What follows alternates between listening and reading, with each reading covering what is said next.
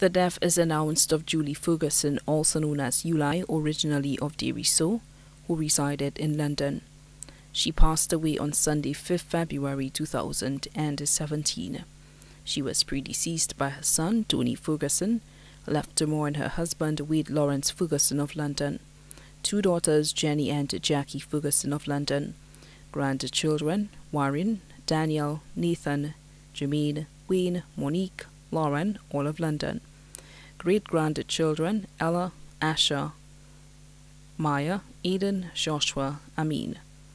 Nieces and nephews Mary and family of London, Rousses Alexander and family of Desruisseaux, Teresa Anatole and family of London, Gassonet Felix of Desruisseaux and Castries, Setage and Regis family of Desruisseaux, Lynn, Kimbert, Mike and Pierre Setage of London, Teresa and family of Lasha Desruisseaux sisters-in-law Nus Lilia Haraksing and family of Desruisseaux, Ketera Monero and family of Desruisseaux, Rachel Ferguson of London, Rosalind Ferguson in London, Sylvina Macmillan of London, brothers-in-law Davidson Ferguson and family, Egbert Ferguson and family of Deriso, Zacchaeus Ferguson of London, Wendell Ferguson and family of London, Franz Joan Burke and family of London, Simon Augustine of London, also left mourn James Satage of Tirushi Micoud, other relatives and friends here and abroad.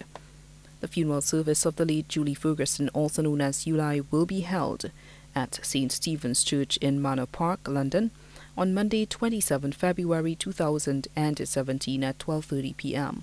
A memorial service will be held in honor on Monday, 27 February 2017 at the Holy Cross Parish, Desruisseaux at 6 p.m. Relatives and friends are kindly asked to take note. May she rest in peace.